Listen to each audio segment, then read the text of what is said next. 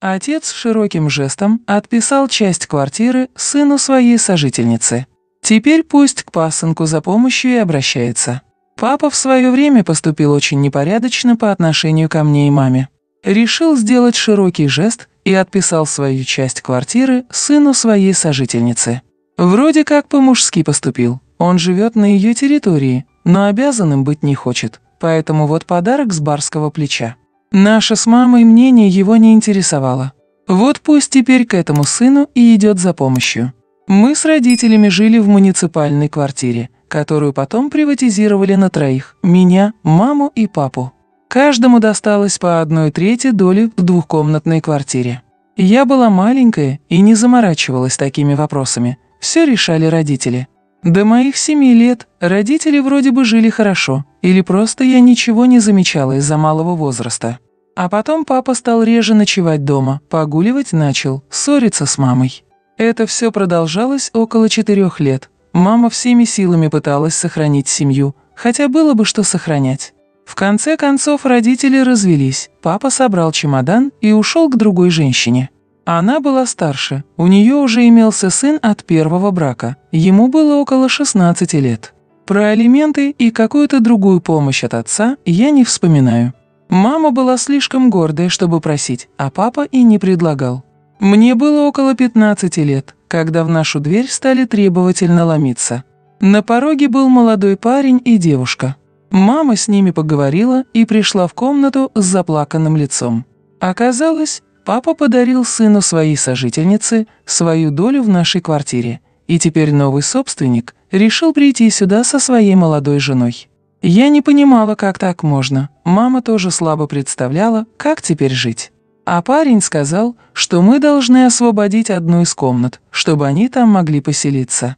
Вот так внезапно мы оказались в коммуналке. Парень и его девушка вели громкий образ жизни, собирали друзей, шумели, но делали это не специально, просто им было лет по двадцать. Самое время жить. Но нам с мамой от этого было не легче. Уроки делать было невозможно, маме поспать перед сменой тоже не удавалось. Куча непонятного народа в квартире напрягала. Когда мама спросила как-то у отца, зачем он так с нами поступил, папа даже не подумал извиниться. Сказал, что этот парень ему как сын родной. К тому же сам отец живет на территории своей женщины и хотел просто отплатить добром за добро. А нас он даже не думал. В итоге ту квартиру мы продали, поделив деньги согласно долям. Мы с мамой взяли себе в ипотеку двушку, оформив напополам. Чтобы помогать маме ее оплачивать, я решила повременить с учебой, устроившись работать. Мама до конца ипотеки так и не дожила. Мамы не стало два года назад, а ипотеку я закрою только в следующем году, если ничего не случится. Месяц назад меня каким-то образом нашел отец, с которым мы очень долго не общались. Позвонил, пригласил встретиться. Оказалось, что со своей женщиной он разошелся уже несколько лет назад. Она его выставила с тем же чемоданом, что он когда-то забирал из нашей старой квартиры. История циклична. Отец жаловался на возраст, маленькую пенсию и большую оплату за съемную квартиру. Слушать, как он окольными путями добирается до цели встречи, мне надоело. Я спросила, что от меня нужно. Оказалось, нужна крыша над головой, а то на его пенсию жить на съемной квартире очень накладно. Я сидела и удивлялась, вот же наглость у человека. Алиментов он не платил, ничем не помогал, даже с днем рождения не поздравлял. С квартирой нас очень некрасиво кинул, а теперь пришел проситься приютить его. Во мне жалости к нему нет.